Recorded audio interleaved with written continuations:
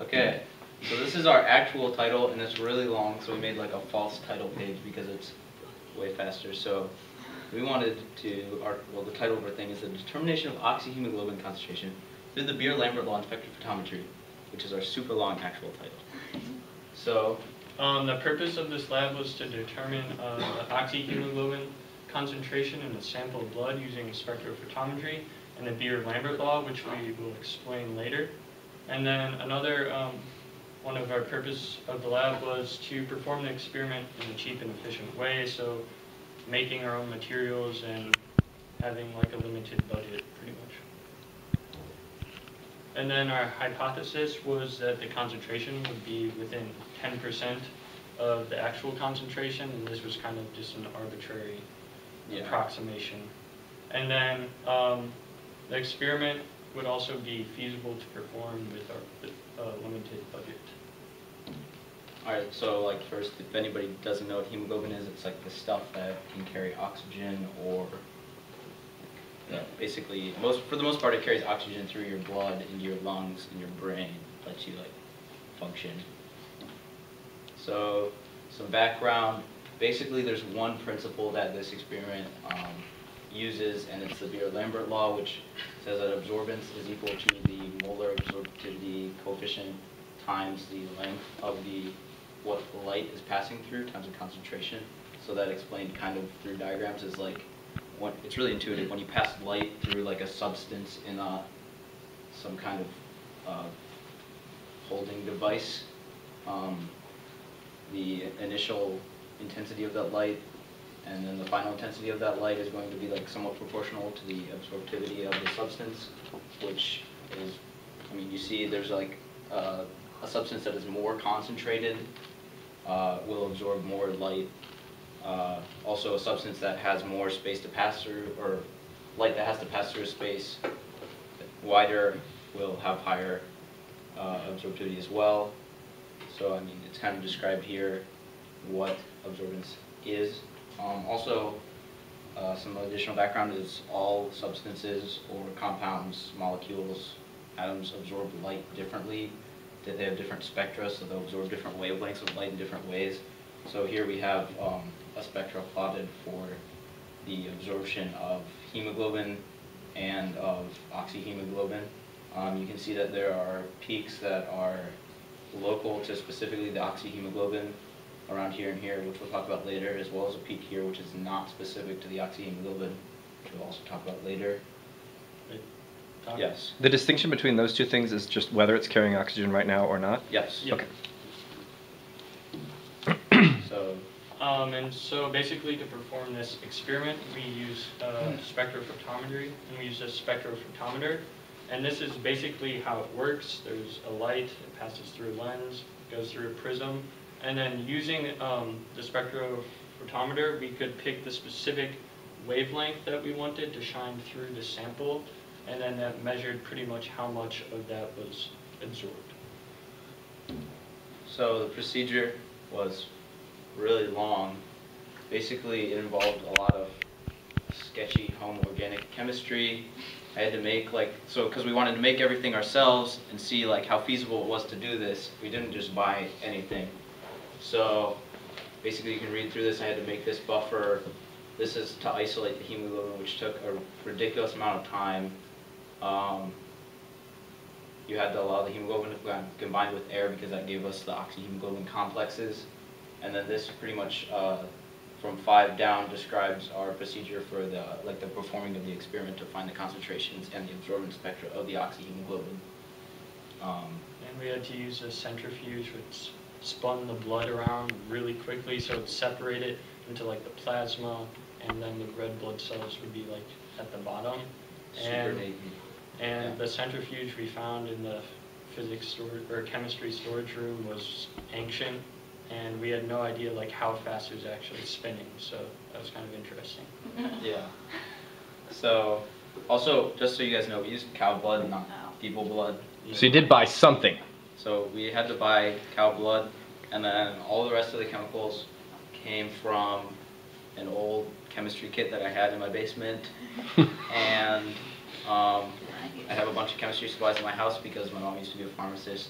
So she has a bunch of stuff from school. Shout out to her because she uh, helped me with a lot of the calculations for molarity and stuff because I'm not good at that. Um, yeah. So this is our procedures, kind of pictures. We don't have one. This is also kind of a diagram because we had a lot of different setups.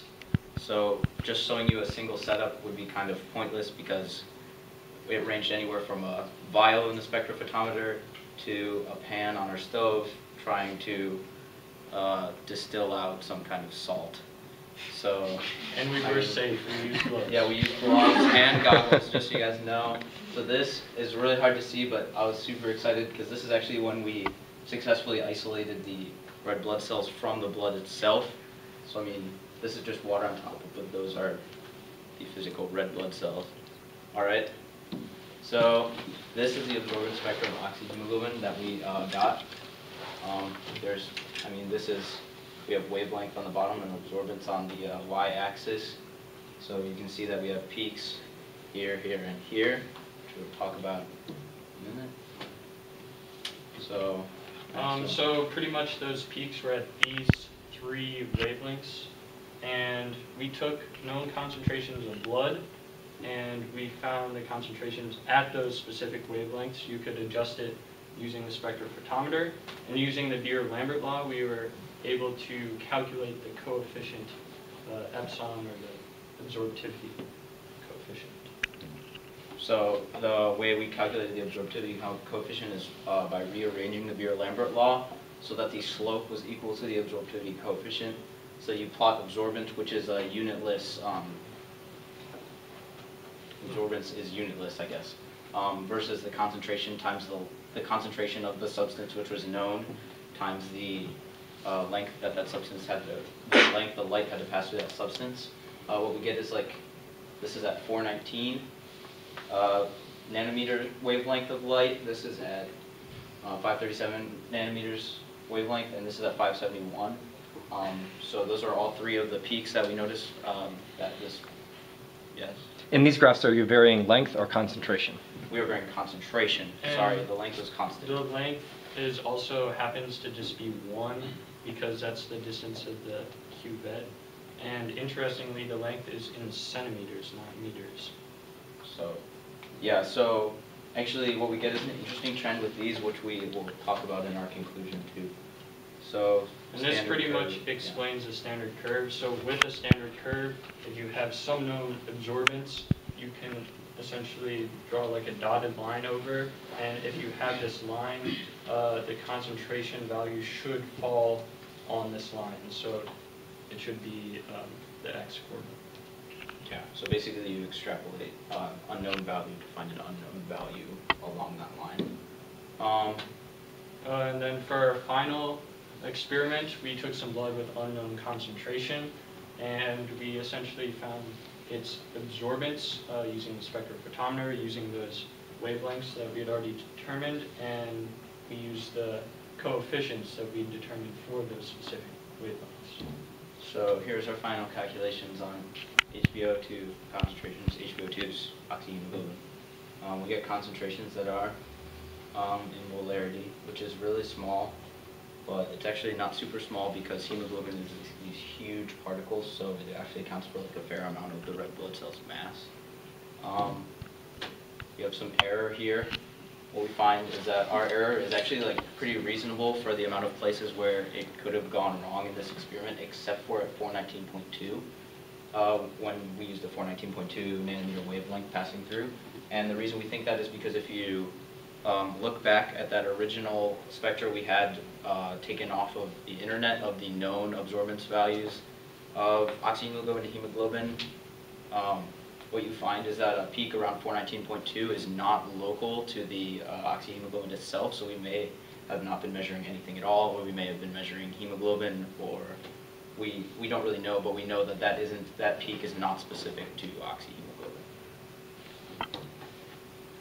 Um, so why is this important? Um, essentially, a pulse oximeter, which is like a medical tool, functions on the same principle.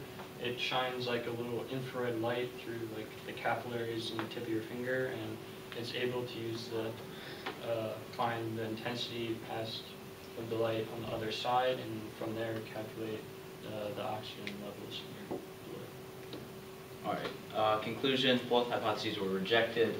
Um, The first that it would be within 10%, um, that was not correct. We were actually fairly close with these um, calculations, or with our error, but it still wasn't within 10%, so um, it wasn't really cheap. It didn't cost us $700, but if you were to do this from scratch, it would, because the centrifuge is really expensive.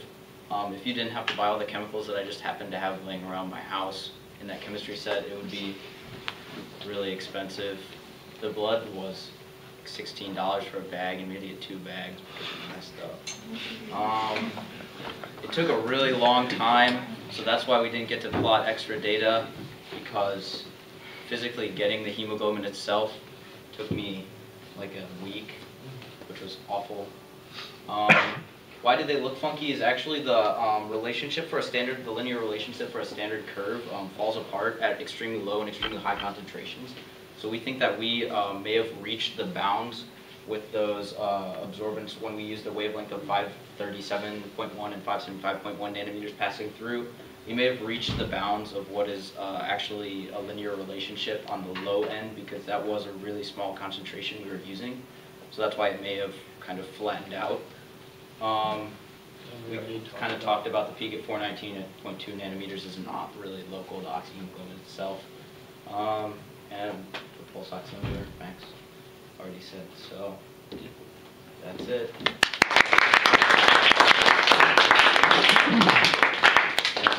Because of the uh, in- incredible depth of this experiment, I'm sure there are a million questions. We'll have to hold them, except I uh, am the teacher, so I get to ask one. Can you go back a long way to the spectrum that you found on Yes. the SpectroVis? Yes. Uh, you're looking at hemoglobin, right? Oxyhemoglobin. Okay, but that's a red thing, right? Correct. Why does it say that the absorbance is so low in the red? Um, isn't it that things appear, I mean, I don't want to say, I'm not really sure. Donovan? It's that like things appear the color that they reflect the most or something like that, I'm pretty sure. So do you mean that it is not absorbing the red, Yes. but rather Yeah. that it is? Very good. Thanks again. All right,